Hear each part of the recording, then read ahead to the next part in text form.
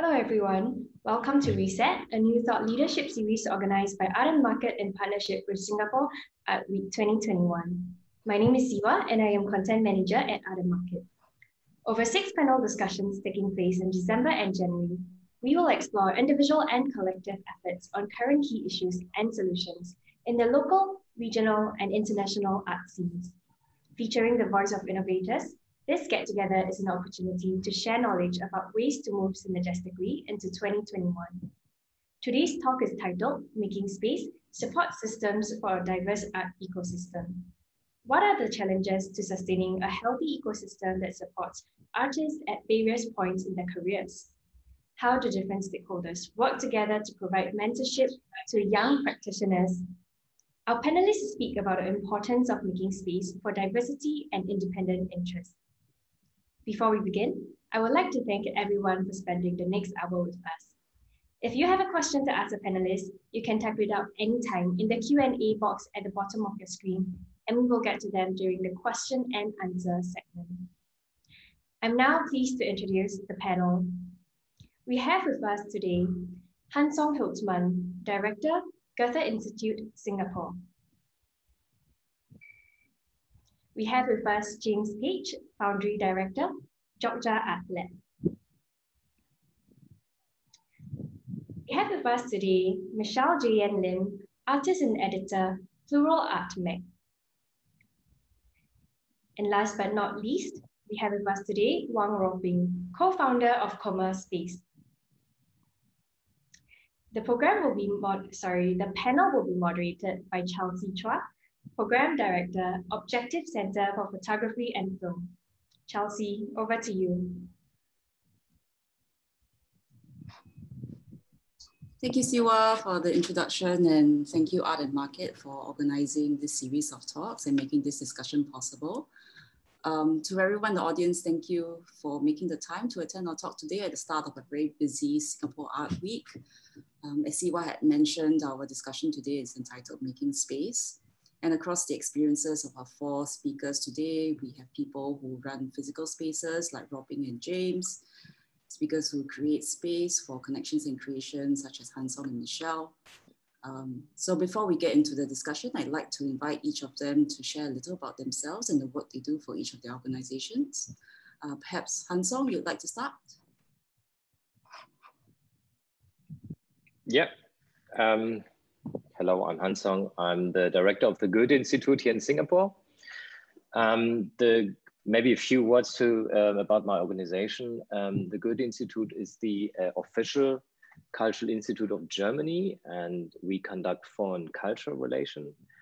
And our main mission, therefore, besides uh, German language and informing about Germany, is cultural exchange.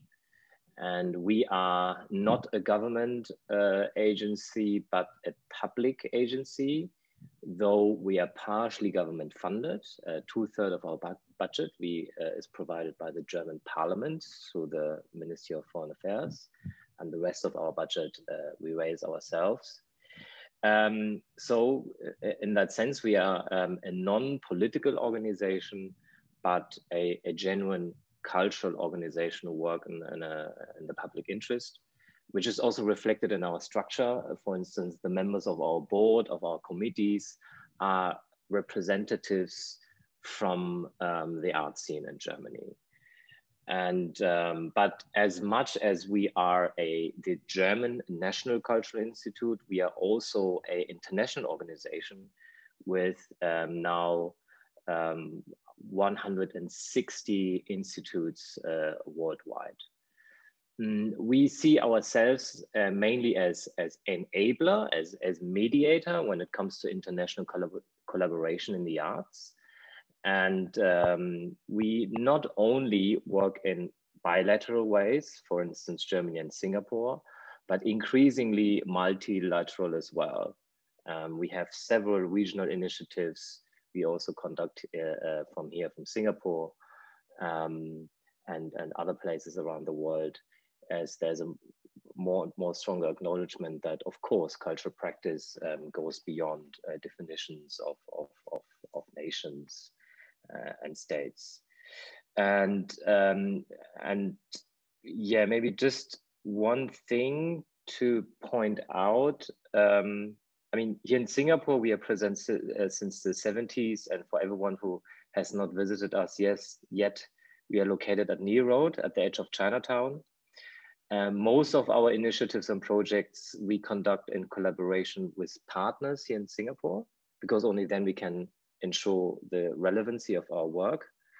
Um, and the focus has somewhat a little bit shifted away from this classical representational approach of, of cultural relations. And uh, we are much more focusing on actual exchange uh, to build up sustainable relations, sustainable networks, and sort of the, the different platforms and groundworks on which cultural exchange can ongoingly happen. So that's uh, what we are trying to do. And to do that, we do rely on strong partners here in Singapore um, to fulfill our mission. That's so far from our side. Thank you, Hansong. Uh, James, perhaps you would like to share about your work with the Jogja Art Lab. Uh, sure. Hello, uh, my name is James. Uh, the Jogja Art Laboratory is it's owned by Gajah Gallery. It's a privately run uh, art lab based in Jogja. Uh, the building itself is actually owned by Yunizar, who's one of our contemporary Indonesian artists. And since uh, 2012, uh, and then when I was involved from 2014 onwards, we've been specializing uh, predominantly in casting uh, lost wax and ceramic shell casting of, of silicon bronze, uh, doing fine art casting. But we also work with aluminium, resin, uh, and we will explore different materials for different artists. So we will develop using, for example, concrete uh, crushed glass. Uh, we've used uh, cement as, as well. Um, so the, the practice really, which was very good both for the uh, regional artists. So it's not just Singaporean artists, but Indonesian artists, Malaysian, Chinese, um, is that they have the ability to come to us and without a pressure of time and with a relative ease, easing up on, on cost, uh, because we will uh, absorb the production costs actually. So the way that we work, we will invite an artist, they will work with us, and within reason, we will develop and create a work with them using materials quite often that they have not used before uh, and, and create those sculptures. So a good example would be Suzanne Victor Crushed Glass uh, series. Uh, and we've continued to be working with Suzanne, developing new pieces. Uh, Jane Lee with pigmented concrete. Uh, Yunizar himself had never been able to do bronze sculpture, and that was actually why this entire facility came about. And importantly for us is that Yao uh, is a facility which does this ceramic shell lost wax, and, and that quality of casting with the quality of silicon bronze is extremely hard to, to find in Indonesia. It's, it's very hard to find in Singapore. It's hard to find in the Philippines. There are some foundries in Thailand, obviously, which do it. So we offer a, a great facility and quality of work um, to regions which, which don't have the facilities actually to pull off that, that quality of uh, sculpture. Uh, and, and that's how we're progressing. Uh, it's very enjoyable to work for it. Team of about 14 to 20 people depending on projects. And the ensemble of, of, of artists is also growing. Uh, we have Jigger Cruz, Whaley Gang. Uh, we've even done pieces for Kamari, Yunizar, Handy Wehrman, um, Kaylee, a young artist working with Cement, Jane Lee, uh, and, and, so on. Uh, I think that's a, sums it up quite well. Thank you so much, James, for sharing that. It's really interesting. Um, so working with different mediums that way. Um, Michelle, uh, perhaps you'd like to share about your work with Plural Art. Um, hi, everyone. Thank you for joining us today on this Friday afternoon. I'm Michelle, an artist as well as editor at Plural Art Mag. We are a digital art publication uh, and we cover Southeast Asian art and art events, but we're based in Singapore. Uh, it all started out as a passion project between um, two founders, Pauline Gan and Usha Chandradas, when they were doing their MA in Asian art histories at LaSalle. But in the four years since, Plural has grown into a magazine with a team of writers and a lively social media presence. And we've, we have also been um, you know, trying our hand at different other projects as well. So since last year, we've ventured beyond the editorial to explore other projects that continue our mission of supporting artists and the art community. Last August, for example, we launched our Heartlands project in partnership with National Arts Council. So this was a digital project that showcased the works of 100 local artists back in a time when we were still knee deep in the pandemic circuit breaker mode. Yeah. And um, towards the end of last year, we also launched Shop Plural, which is an online store where we partner artists to share their art and art objects via an online shop um, in the hopes that you know it would reach a different market from art that you would normally see in gallery uh, in galleries. It's not really it's not a gallery, but it's more to um, to explore this previously unexplored uh, niche where you know perhaps we could connect artists and new audiences through more affordable art objects. And uh, most recently, we've been busy with the inaugural SAW Art Symposium, which will be happening in hybrid format digitally and at Victoria Theatre from next Wednesday to Friday, 27 to 29 January. So you can expect speakers like Takashi Kudo from teamLab, Daniel Birnbaum, Artistic Director of Acute Art, and many other leaders and thinkers of the in international art industry. So if you're a fan of talks, which you must be because you're joining us on a Friday afternoon for this, uh, please check us out on artweek.sg. So that's all from me for now.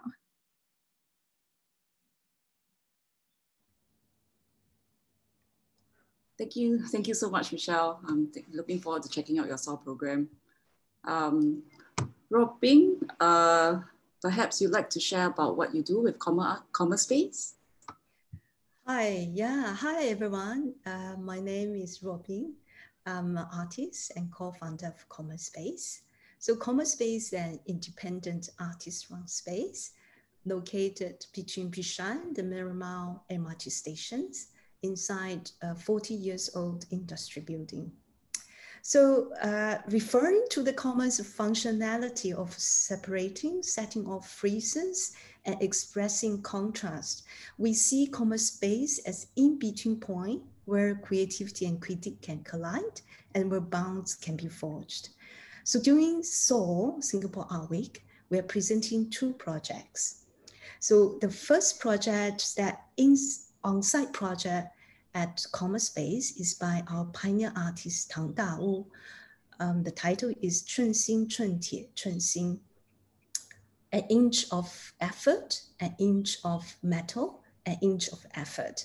So this is a site-specific installation. Um, yeah, Dawu has been working, you know, um, during the exhibition as well. So do check it out and the show uh, opens until the end of the month, 31st of Jan.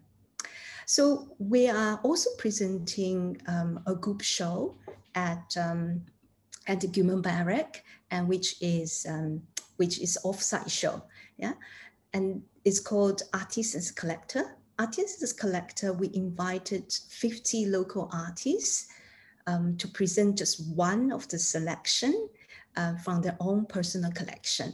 So we're not looking at the material, the, the theme, the quality of the artwork. We're looking at the relationship, the, the, the stories behind such a collection, how they have been come into an artist's uh, personal uh, space. So it could be gifted, it could be exchanged, it could be trashed, you know, by an artist, another artist pick it up um, as treasure. So um, it's the exhibition is starting actually from today. So if you are going to Gillman Barrack, uh, do visit us. And we also capture the 50 story in the catalog. So grab a catalog at the exhibition as well. Uh, the space is at Block 1, Lock Road 01-01. Thank you. Thank you so much, Robin. Um, so perhaps now we can get into the, the sort of thick of the discussion. Um, and I suppose we are considering the idea of making space here in sort of many uh, forms. Uh, there's of course uh, physical space um, and also the kind of opportunities that each of you are, are doing through your work to provide those sorts of um, spaces for um, dialogue and art making and exchange. Um, and perhaps we can start with uh, Robin and James for this discussion um, in the time, aside from the kind of physical space that your organizations also provide, the kind of expertise that you bring to the table. Um, James, of course, with the technical know-how with you and your team uh, with regards to working to different with different materials and with Robin, um, I understand that you're also very much involved as a curator with the presentation of many of the projects. Um, perhaps James, you'd like to start? Yeah, I mean, the, the space itself the importance of the spaces is obviously enabling those artists uh, not only to be able to explore with a, uh, with a freedom of, of time. And I think that what sets apart uh, quite specifically really our foundry from nearly any other foundry is that when you come to do a work with us, uh, we do not expect you to have the finished say product and we'll just cast it. Quite often we are working from the very start. So we have clay modelers, we have sketch artists, we have uh, 3D designers, we have 3D printers, uh, whatever you want really to enable that work to grow and to develop. And the team in Indonesia are also now very used uh, to the experience of, of getting you know, a mile down the road and, and simply realizing it, it doesn't work or it's not to the artist's liking and being prepared to then just say, stop, we'll start again And that can only come with, a, with a, an element of financial uh, freedom, but it also comes with a team who are are very used and prepared to, to stop, starting again, changing, developing, processing, and not just expecting a nine to five, uh, same job every day, do it again, do it again. Uh, so we're very fortunate with that. I think for artists, uh, it's also the ability to have a facility there to, to create work that they cannot necessarily do by themselves, which they definitely couldn't do in Singapore. The, the foundry here, you know, they, there are not really fine art foundries. You would have to outsource it. It's very hard to control. Uh, and, and, part of my job is to be in a constant dialogue with the artist, uh, with constant updates. Uh, they come out to Jogja, obviously pre-COVID, um, and to, to enable a constant sort of process of, of creating a work. Uh, I think it's noticeable, you know, as with Uniside, for example, they just couldn't do that quality of bronze casting. Hahan uh, is a uh, Indonesian contemporary artist. He's giving us works which he knows he couldn't cast elsewhere. Same with Handiwirman with bronze. Uh, we can pick up fingerprints in, in, in the bronze, and that can only be done using ceramic shell technique and it's an expensive and, and very time-consuming process of, of casting. And, and, normally it would be sand cast. And this is all technical detail, but I think that's the most important aspect. It's it's flexibility and the ability to throw a team at something without the pressure of of having to result in a in a piece uh, with the flexibility of saying, okay, no, let's try something else. We'll try something else, or we'll develop and develop. For, for sure, I think that um, what you've pointed out very rightly, you know, that sort of um, luxury of time, um, space, and the kind of support that you're able to provide to the artist is so integral to sort of facilitating the kind of art making that that you're you're hoping to kind of nurture. And I think that very much feeds into uh, what Robin is doing with Comma Space, um, especially with you know her year-long uh, Robin with your year-long uh, curatorial series, uh, the amount of time you obviously spend with each artist to make each presentation happen. Um, would you like to share about that, Robin? Yeah, um, in regards of physical space, I think um, because I'm an artist, my partner is an artist as well. So we uh, we understand how important and physical space where you can present your work is so important.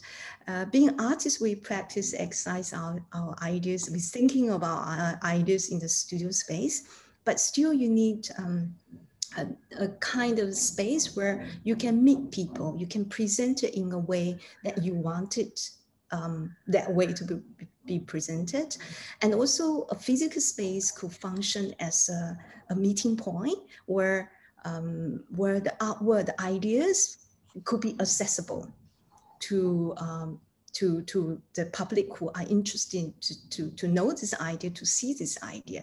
I think that's the reason I think um, physical space is quite uh, important as a part of artist practice.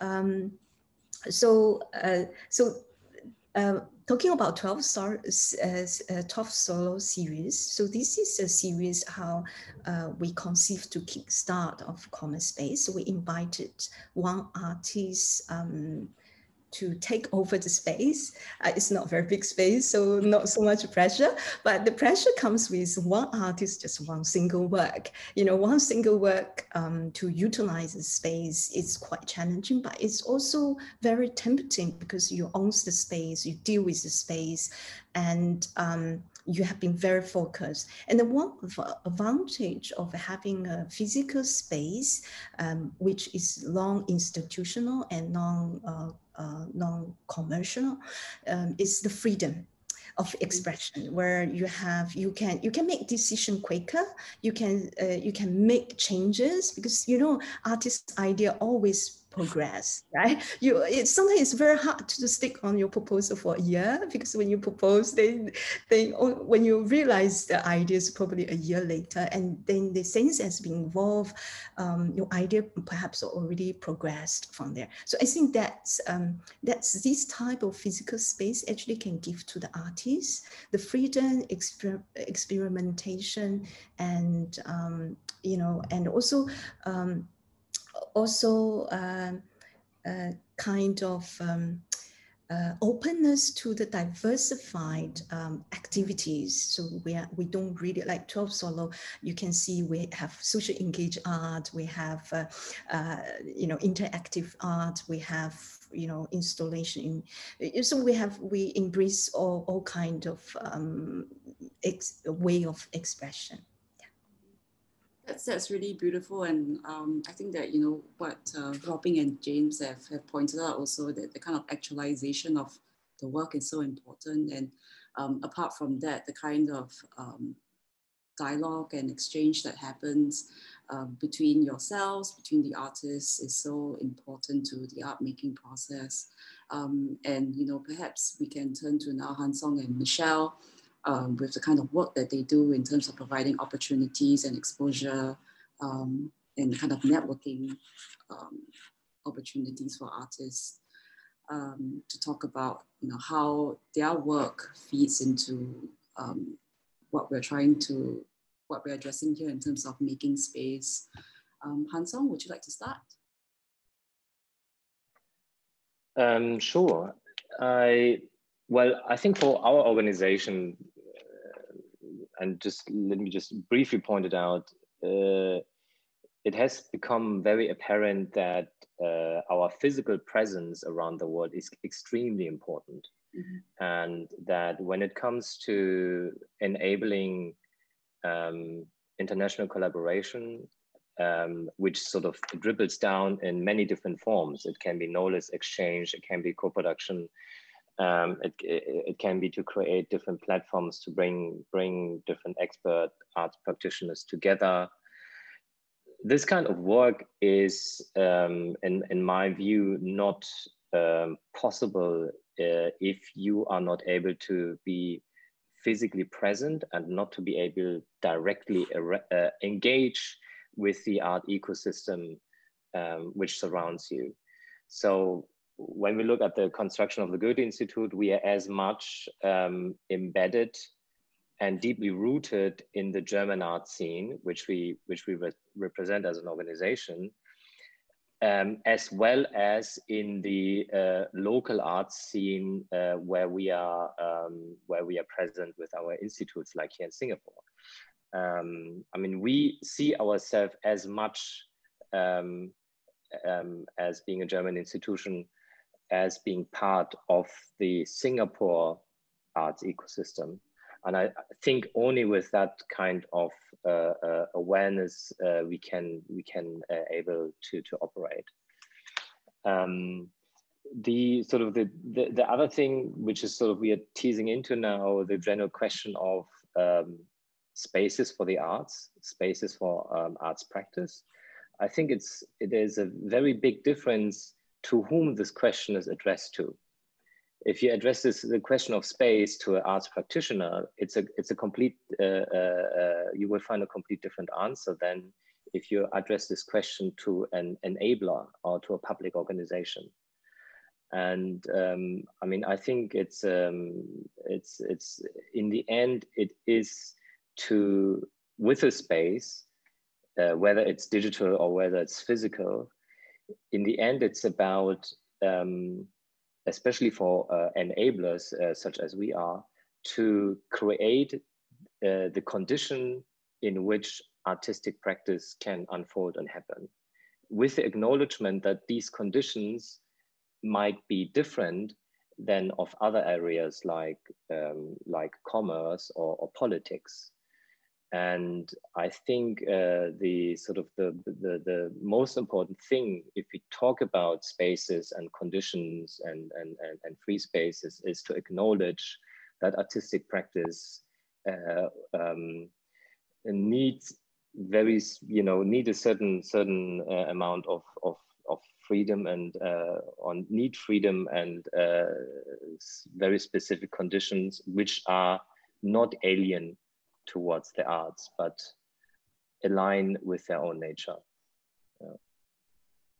sorry that's a bit abstract but maybe maybe we can dive down a little bit Yes, yes, perhaps later. Um, later we can talk about some of the sort of exciting programs that Goethe is doing, not just locally, of course, um, but regionally. Um, Michelle, perhaps you'd like to talk about the work that Plural is doing? Yeah, sure. I mean, um, just responding to what Han Song was saying, you know, about conditions where uh, an art, artistic practice can unfold and happen. I think that's where Plural Art Mag's um, uh, focus is because as you know, we're a digital art publication. We don't actually have a physical space, but um, what we do have is that room for dialogue to happen um, in in unfolding what goes on behind the scenes when an artist makes the work through interviews with the artist. And for example, uh, recently, you know, as part of Comma Space's 12 Solos project, one of the artists actually wrote for us. Hui, Hui Xian kind of wrote about her, um, how it was like to be an artist working on her solo in art space. So in, in that sense, I guess um, the space that we afford the, the art artists as well as their audience is, is that space of a bridge to kind of connect them and uh, germinate conversations and kind of provide a different point of view into what you see so that you don't just see the finished product, right? Um, but, but rather you can kind of like delve into the insights of the artist.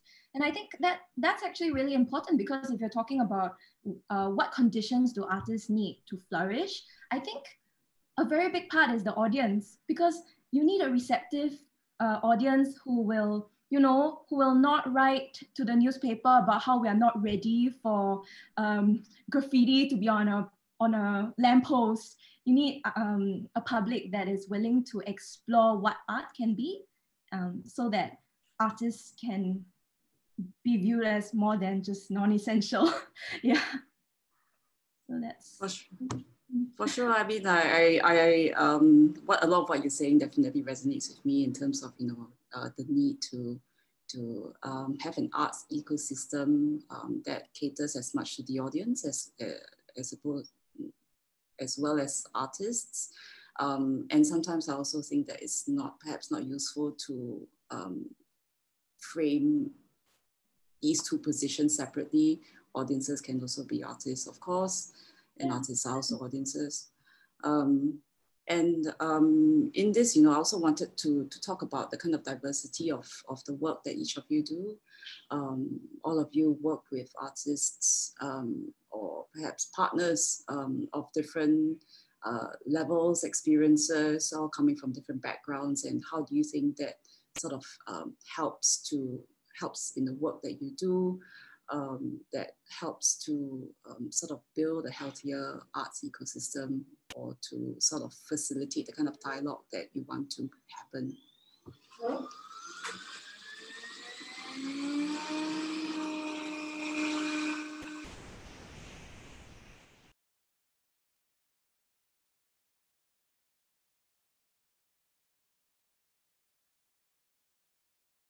Sorry, James, would you like to start? Ah, yes. Uh, hi. Um, a lot of muting going on. I, I think again, working with the artists uh, and how it generates within an ecosystem. Obviously, in my case, it's very specific to the region of, of Yogyakarta. Uh, so when we're working, uh, obviously, when an artist comes, we have our team of technicians, but we outsource and there is a very strong uh, artistic community and, and technical support in Jogja. You're talking about a, a, city, as I'm sure you all know, in Indonesia, you have Bandung and you have Yogyakarta, and Yogyakarta, it it's breathes art. Uh, and, and so for me, it's always a delight in that we will do a lot of things in house, but we enable an artist to to, for example, go to a, a carpenter uh, who normally does furniture, but then in this case, we will uh, engage them to do some carving work, uh, which would be for the artwork. And, and they then would have that uh, experience of, of, spreading out. And, and that goes the same for, for marble, for granite, for uh, cement, um, in all these different forms. I think most recently in Singapore, uh, we've been beginning to explore 3D modeling and then also 3D printing. Uh, and that's something where if we take a, an example would be a work with Ashley Bickerton, which we, we have the solo show of now. We're currently, or I'm currently in dialogue with, with Ashley using his original sketches to use an Indonesian 3D modeler who is not in-house at the, the YAL, but is um, part of the art you know, ecosystem of Jogja uh, he's modeling, and then that's being 3D printed in Singapore, and then it's being sent from Singapore back to Jogja to be handcrafted and handworked, and and then it will actually come back to Singapore to be 3D scanned, and then it will be sent again. So there's there's this kind of regional um, linkages between not necessarily uh, artistic dialogue between artists, but artistic dialogue between technicians and craftsmen. Uh, and um, what that can then generate and what can then enable an art to progress or you know technically wise but to, to, to, to move a lot forward um, in what can be done. I think that for me that's the eco art system that i'm looking at because it's, it's all technical but it definitely um, it has to spread across countries. Yeah. Uh, uh, certainly james i think that what you're describing is um, i mean it, it uh, speaks to um, sometimes the, the unseen labor behind a lot of um, the, um, the artwork that we see um, at, uh, at a platform such as the Singapore Art Week. Um, you know, there, a lot of the, the sculptures, the artworks will not be able to happen um, without definitely the sort of expertise that you're describing. and uh, perhaps Michelle, uh, would you like to talk about your experience um, working perhaps on, on the Heartland project with, with different artists um, and of course um, profiling um, different collaborators and artists in, in plural art? Well, the Heartland project was uh, basically a chance for us to leverage on our that, that kind of bird's eye view of the art ecosystem here in Singapore? Because I mean, as a publication, you kind of it's your job. You kind of have to know um, what's going on in the art scene, whether it's um, emerging artists or established artists, and what the um, what are different people doing that's exciting. And so that allowed us, you know, to be that bridge between National Arts Council and the artists, because um, in a very big way, that project was to kind of um, lend a show of support to the art industry during a very difficult and very uncertain time. So um, the, what, what we did was we commissioned each artist to make a work that was meant to exist on a microsite. Um, and at first that was just going to be the the main gist of the project but we also said hey you know since we're putting up all these artworks and these artists have made um, artwork specifically for this project so why not make it for sale as well again we don't really um, it's, it's not that we want to be gallerists. We think that there's a very strong, um, you know, established ecosystem there already. But it's more about uh, seeing what opportunities there are, and if it can help the artists, why not? So we um, we put up the the works, and we said, you know, um, if you want to put it up for sale, let us know. We'll we'll write it down. But then, like, we don't take the commission. Um, all the proceeds go to the artists, and we've had some very good responses from there. Um, there are buyers from overseas even, and it's also kind of like spun into its own thing because now we have some um, governmental institutions coming to our Heartland's website if they, in the event that they needed a gift for like, you know, um, one of those, what do you call it? Um, you have to go, you, you have to bring a gift overseas or, yeah, you know what I mean, right? Yes, yes. so, yeah, so it became like a, a good um, aggregate of, um, you know, this is where you can find many Singaporean artists or local artists doing work and you can see a sampling. Yeah. So that's been an option I think that's really, really wonderful. I mean, the, the kind of, um, uh, I mean, I, I, certainly think that, you know, um, just referring back to what Han Song mentioned about um, being enablers of um, the art scene. I think that plural art has definitely gone beyond uh, its remit um, as a kind of digital platform to um, to encourage um, artists to and to support artists in, in sort of very real ways. Um, it, I mean, real ways meaning um, I think, think we all know financial support is always very important and, and essential uh, to keep the, sort of wheels turning in the art scene. Um, and of course, acting as a bridge between um, audiences and, and, artists.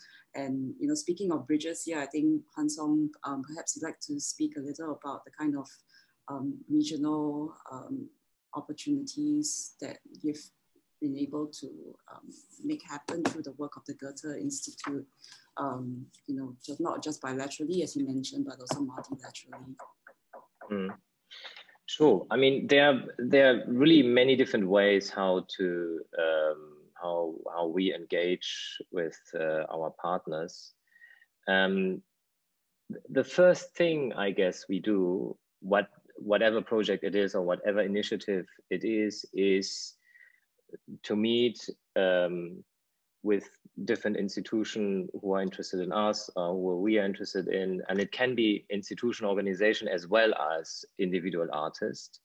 So uh, we both we work uh, on both sides, and uh, what is I think crucial as a very first step is to to to go into a very open dialogue to actually to find out the, the, the necessities and the relevancies of what is actually needed and uh, in which areas or on what issue there could be something done.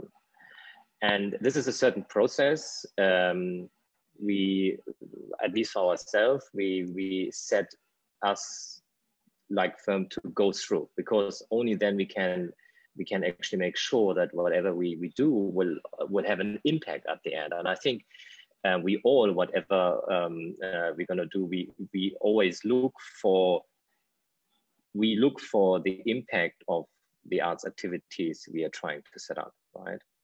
Um, so we do that, going into a dialogue, and um, and then to share our expertise, and and from there we actually go to develop certain initiatives and to develop projects. So providing funds is only one element uh, in, in our ways of engagement, uh, which comes, you know, only um, towards uh, the point when we would launch or execute certain projects. So this this dialogue, I think it's it's extremely crucial, um, at, at least for us.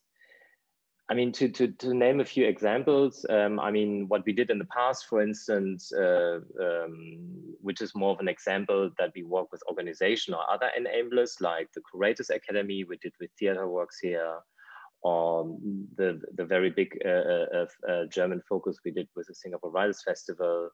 Um, actually, generally, the, the festival collaborations we do, um, I think that more stands for um, collaboration with institutions, but even there, um, it is it is very important for us that we actually step into um, into a process we where we actually can can can share um, certain program views and and and our knowledges to to to develop something together. So that is that is always important for us. Um, another example where the, the engagement is more focused on the artists or, or on artists themselves would be possibly um, a the music project we did last year doing the doing the pandemic doing the circuit breaker X Klingt, which was a regional initiative in Southeast Asia um, supporting different musicians, um, creating uh, videos or audio visual works, which we then presented on our pl platform internationally. Um, so I think that was more of a direct um, product, productive or creational um, um collaboration in direct engagement uh, with artists. Um, a bit similar to that, also the Nusasonic project, which is which are aimed more at contemporary musicians, again, Southeast Asia as well as in Germany. Um, at, uh, at this pro at that project, we actually then added on institutional partners as well. For instance, the the Club Transmediale in Berlin, which is a very big big uh, music festival, so that we can also go beyond uh, musical production and co-production, music co-production, and also into presenting um, on important platforms like like like a music festival. So yeah, this would be yeah some examples how um, how we set up our projects. That, that's incredible. I mean, I think that the, the your the diversity of um, the people whom you you work with, Han-Song, definitely um, transcends um, art form and age and um, location, and um, that's uh, you know an incredible scope of work. And perhaps um, now we can turn to, to Ruobing. I mean, certainly um, for smaller art space, um, you, you certainly punch above your weight um, in terms of the diversity of the projects that, that you support. And also, um, I, I really enjoy that you also engage with artists of different experiences and different um, sorts of mediums. Yeah, I think from this practice point of view, I think it's the nature of contemporary practice now that you need to uh, collaborate with others, especially some kind of a practice that involve with discussion, dialogue, and also exchanges. For example, we um, for the the Shape of the Sky by James Jack and we had we run a few uh, sessions. One session uh, the story uh, storytelling sessions with um, malaysia community ecosystem community. So they share with us what they have been doing and even they share us the cooking uh, workshops that they had. So it was really fun. And this is part of the way how uh, james jack um, you know, realize his work in the communicating with different institutions, different organizations. We also um, run a talk with, um, with a curator from Hawaii and also a graduate student from Yale and US. Um, they have done some research in island related topic, which is uh, resonant with what James Jack is doing for his show at the Comma. So this is a kind of um, planned collaboration and relationship with different institutions and different organizations and being part of artistic practice. But we, we do have a happy incident collaboration like for example, we uh, the waiting machine by Yang Jie. So um, so for this work, Yang Jie actually create a clock. Yeah, the clock is the exhibition speed. When you enter, then you enter to a clock. You can trigger the buttons and you can you know um, reduce your waiting time. Yeah. so his idea is about the waiting, about the time. So the following artist, his name is Bu Ziyan. So he's he he actually he wants to he proposed to do um, so he he's most known as a painter, right? So uh, I've been you know challenging him to do something slightly different in the in the space. So he was proposing to use industrial materials to do painting in the space. But when he came to see Yang show, which is the one before him, he said, "I know what I want to do. I'm I'm going to um, capture the shadow from Yang Jie's show. So that's a beautiful instance where uh, one artist's show eventually influenced another artist to realize his show. Yeah, so that, that is um, that's not planned, but it just happened that way. I think um, yeah, all, all practice eventually open up many possibility and opportunity for the artist to collaborate with other artists or other institutions. That's the best. Yeah. That's wonderful. Um, perhaps we can um, move the, the conversation on to, um, I guess, the, the crux here, which is, you know, what, what we think of that diversity. And um, so we have uh, a question in from the audience um, asking what does diversity mean to each of you in the context of your work and um, and I'd also like to add to that, you know, what are the kind of voices that you think um, we should be making space for? Um, would any of you like to start?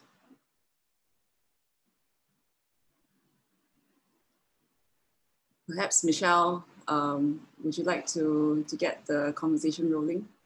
Sure. What kind, uh, just to recap, the question is what kind of, what does diversity mean to us? And yes, what, kind of, and what sort of voices do you think uh, we need to make space for?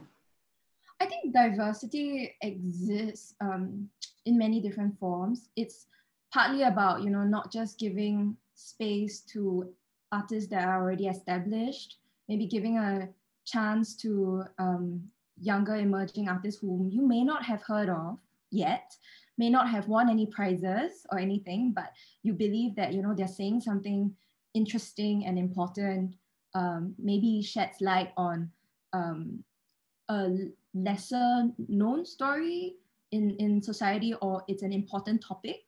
Um, so I think diversity is, is that um, and to make space for it, it, for us, it's very clear it's about coverage in a way.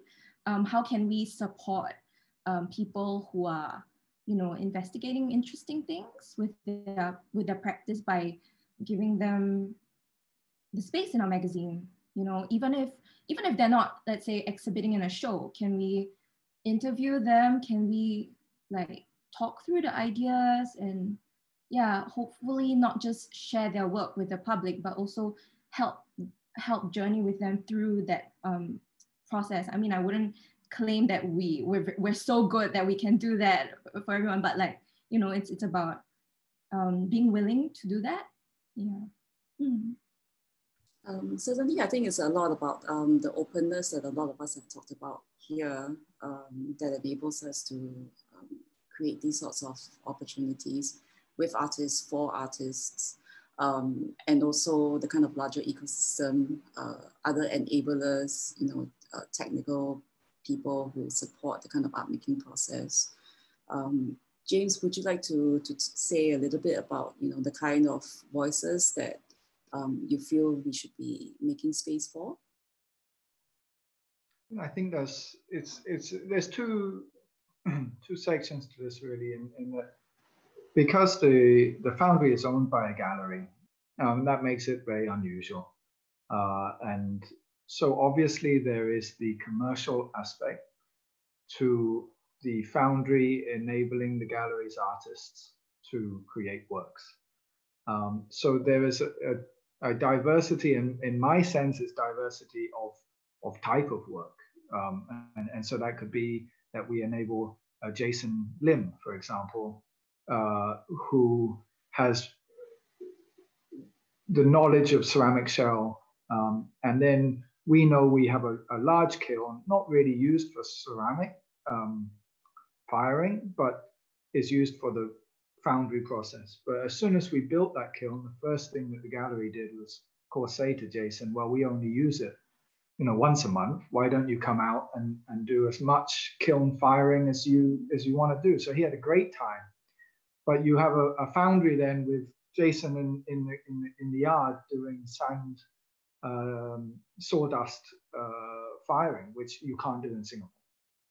And then at the same time, uh, we try our best not to limit it only to, to, to big name or to expensive artists, you know. So our a body of young artists, which Gajah does, and every year we do the New Now show.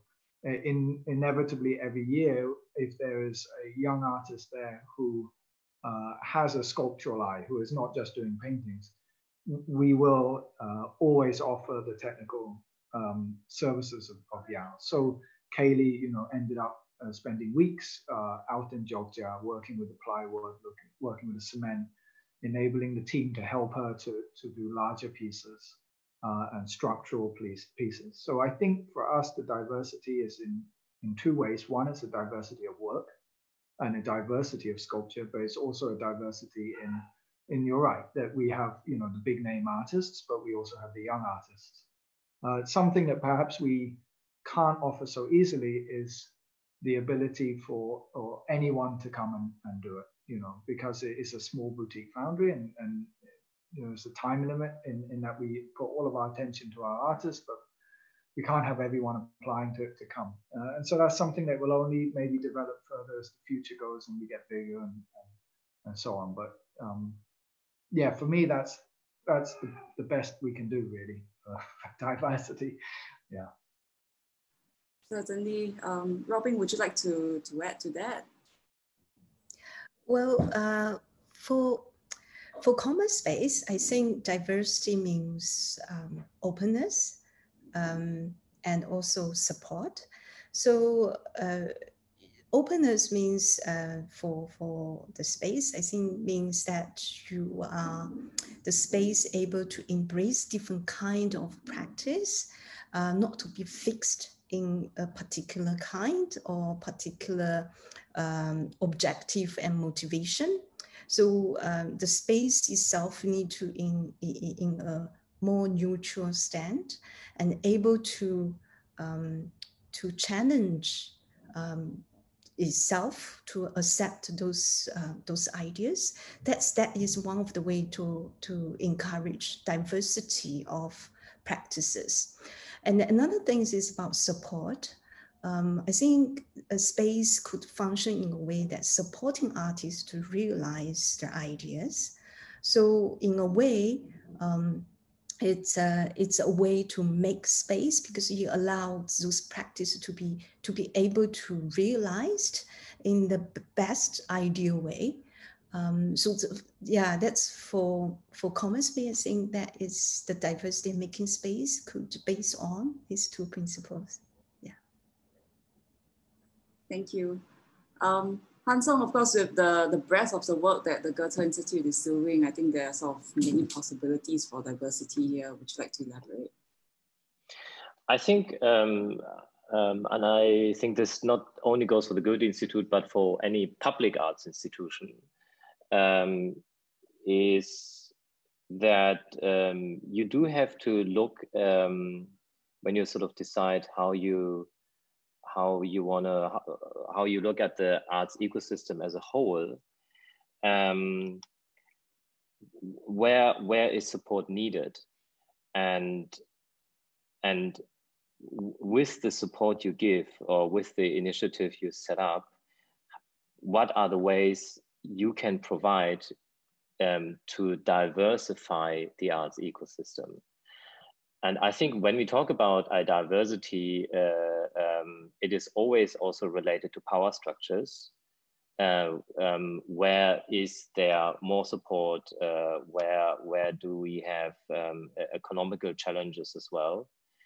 And from from our perspective as a Goethe Institute, we certainly um, see the need in supporting innovative artistic practice, experimental artistic practice, and also critical artistic practice.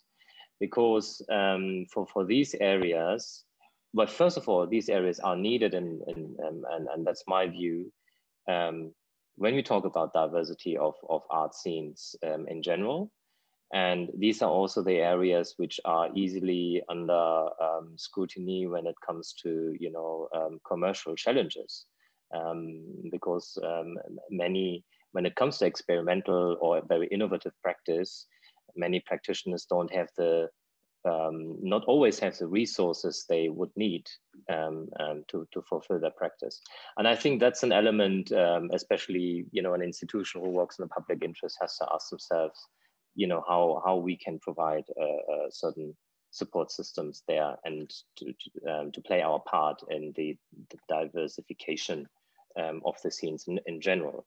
And I think on on on the other part, there's there's diversity as a social issue, and um, in acknowledgement that uh, artistic practice always um, has um, directly or indirectly also have a social impact is part of a wider social discourse. And um, that is something um, thematically uh, to, to be addressed, which can then feed in into programming, which can feed in into, into certain curation of, of, of, of, of, of initiatives. Um, yeah, so I would see it uh, diversity in this in these two areas. And I think the third thing, which is always very imminent uh, when we talk about diversity, is also intersectionality. Um, because um, when we talk about very diverse practices, diverse cultural practices, um, um diverse diverse groups or different groups, um, it is also helpful to see the interlinks uh, in between the two. That would be my take on it. Thank you so much. Um, I think that that's a sort of very useful framework. And in fact, for us to perhaps um, approach our sort of last talking point of the day, which is um, what do you, what do each of you see the are the challenges as to um, achieving um, the kind of things that many of you have speaked about here today, which is you know ideas of experimentation, connection, um, contemplation, uh, in terms of you know, time, working in different materials, working in different partners, certainly, um, and reaching out to um, different sorts of groups of people whom um, you feel uh, could uh, benefit from the kind of dialogue or knowledge of the work that each of you are doing. Han-Song, would you like to start? Sure, uh, uh, happy to start, but I, I, am mm-hmm. not sure if I, if I, if I understood the question. If you, oh, I, I, I mean, I, I, I suppose um, I'd like to understand what you see the challenges are um, with regards to achieving the kind of um, aims of the work that we are doing here. I think that many of us have talked about um, the need for experimentation, for openness, um, mm-hmm. for connection. Mm-hmm. And so, what do you think? Yeah. I mean, I mean, there there are always more challenges you wish uh, than you wish for, right? Um, so I don't know if I can indulge in all of them, but um, very specifically to us, uh, uh, with our presence here in Singapore uh, at Near Road, um, for for for a long period of time, we did not had any kind of event space. Our Goethe Institute here um, uh, so far consists of offices and, and classroom where we also conduct uh, uh, German German as foreign language which is you know the other part of our mission. Um, but we also um, um, see that the need for physical space and and beyond, I think, um, in a very densified urban environment like like Singapore and many many other big big world cities, um, the, the availability of art spaces often breaks down on a, on a very practical dimension of the availability of space. And in a place like Singapore, many other, other, other cities as well, that space is actually um, um, treated as a commodity. And um, so how do we, do we navigate that if we want to, to you know, uh, provide spaces? So um, until now we did not had an event space, but to to to also to, to react on the conditions here, we uh, recently um, renovated and refurbished our former library into a project space, which uh, will be launched soon, um, in, a, in a couple of weeks time actually.